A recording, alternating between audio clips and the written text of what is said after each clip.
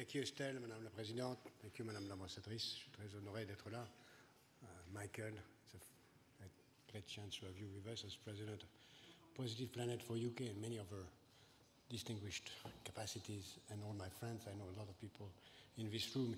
It's a great chance for me to be here and to be uh, here to represent uh, this foundation, Positive Planet, on which I'm happy that you could bet and help us do what we do, which is to try to help people uh, to get out of difficulties and not depend on charity anymore, but create their own life. Uh, Positive Planet exists since more than 15 years. We, we work in more than 50 countries and uh, we do a good job. And today we will focus on a specific program on, on Madagascar. We'll say something about it in a minute.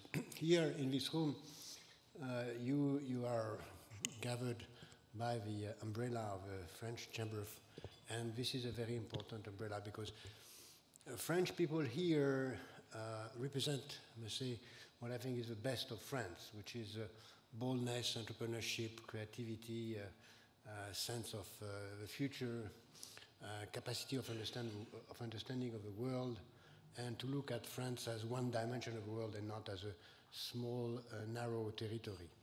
You also think, which is not very often the case in France, that the scandal is not to be rich, but the scandal is to be poor and that it's more important to help people not to be poor anymore than to fight against people who are rich, which I think is uh, the core of uh, real values of the future. And it's not by chance that you are here in, in London, because uh, one of the main reasons of the success of UK compared to the less buoyant situation of France is that you here in UK, a, a country, have chosen to, to put the main city and the capital in a, a port next to the sea, while we have decided to put it in the middle of nowhere, Paris.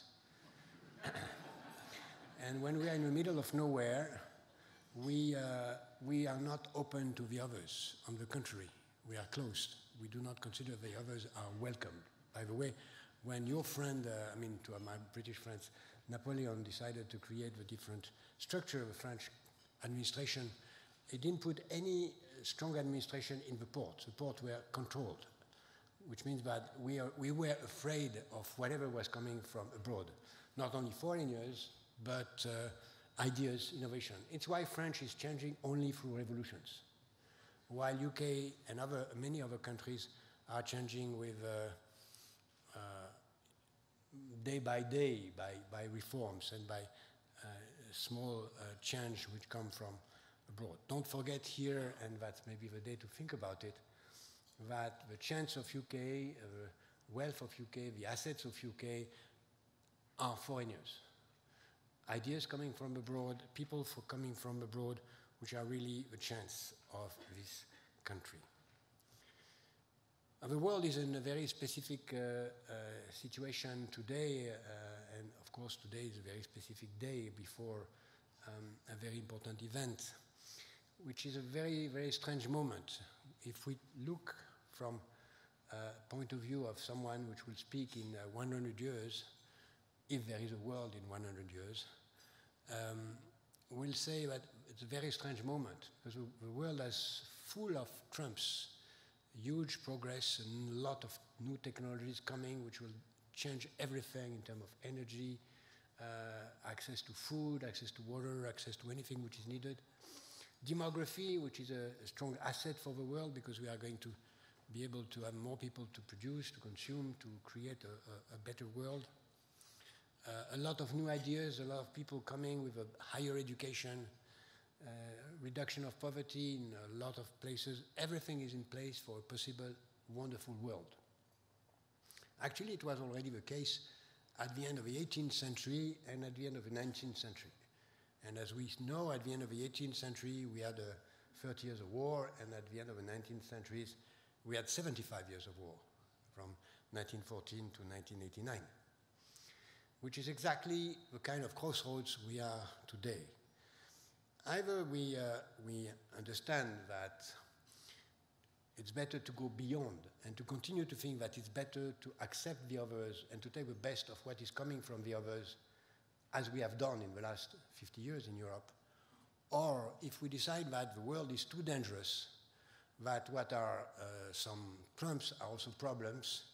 If we look at what the media shows to us, which are show to us, which is mainly the problems and not the solutions, the crimes and not the uh, heroes of daily life, uh, if we continue to think that whatever is around us is just a threat, we are going to do once again what we did at the end of the 18th century and the end of the 19th century, which is to close our borders, to decide that we are better alone and that uh, alone uh, will be best. And then we'll come back to what was all in those times the uh, core of the ideology, which was and which is today destroying ideology, which is based on two pillars. One, uh, me first, me alone.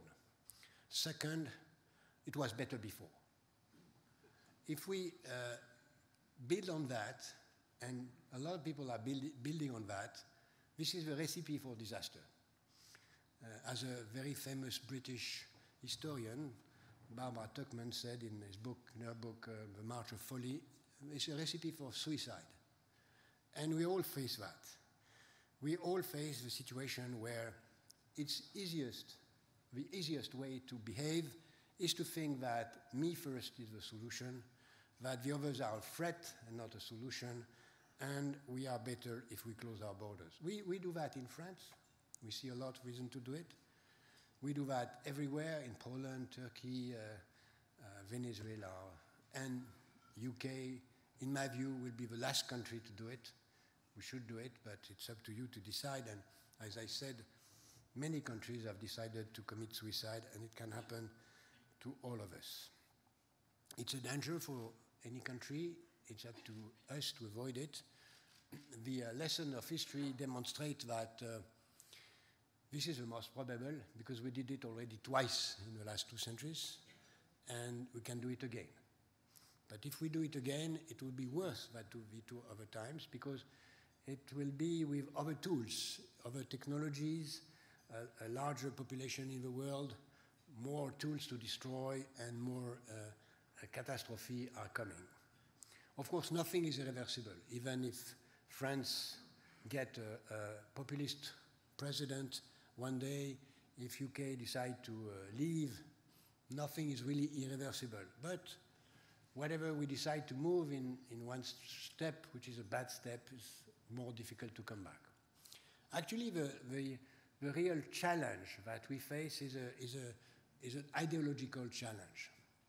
Either we say uh, it's better to be alone and to uh, protect our borders and to avoid the others because it was better before, or we say uh, it, can be better, it can be better in the future. And uh, we need the others. The success of the others is good for us. We need the success of the others, which is actually obviously true. Uh, even if you use this sentence saying by, I think it was Bernard Shaw, that Napoleon was supposed to say that you are a nation of shopkeepers, which I think was Bernard Shaw quoting Napoleon with not a real talk. But what is a shopkeeper? He says someone who believes that the uh, uh, the happiness of his customer is good for himself. Uh, anyone which has a customer must think that the happiness of a customer is good for himself, which means that we have an a strong interest in the happiness of the others. Is this a condition of our own happiness? It's what, what I call selfish altruism, which is a kind of oxymoron. But it's really fundamental. And I think the crossroads of ideologies of today is that. Are we going to be short sighted and think that we must be purely selfish and don't care about the others? Are we going to let the migrants dying in the seas? Are we going to let people uh, starving everywhere and then come to us? Are we going to say that the other people are not good for us and their, their ideas is not good for us? Or are we going to see that this is very important for us to develop Africa. Let's take the example of Africa. If we take the world in 2050, I don't have to say more in this very uh, Uh, uh, sophisticated audience, but you know that the world is 7 billion people, it will be 9 billion in 2050.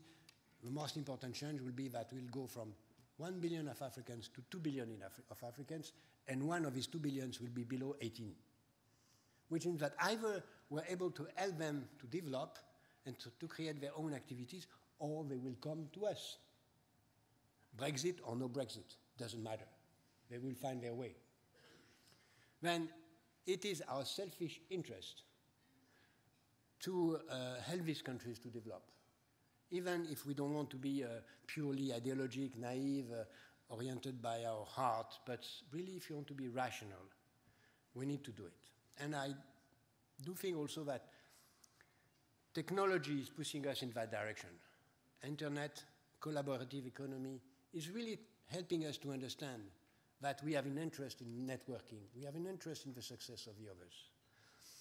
It happens to be that exactly what we try to do in Positive Planet by helping people to develop in order to stay in their countries, what we do in Lebanon, where we help these Syrian refugees to stabilize and create their own business, is what we do and what we are, uh, I hope you will support today in Madagascar when we help with a lot of support from companies such as Sanofi and others to uh, provide insurance scheme to poor people that produce a lot of agricultural projects in order to get enough resources to have health.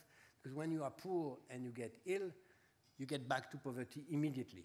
And then insurance scheme is a condition for uh, stabilization of welcome, of income and stabilization of dignity. That's a small uh, token.